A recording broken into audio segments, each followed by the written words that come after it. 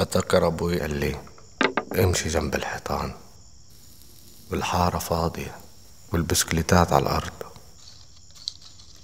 مشيت جنب الحيطان الحارة كلها عشان أوصل باب الدار والصورة عم ترجع.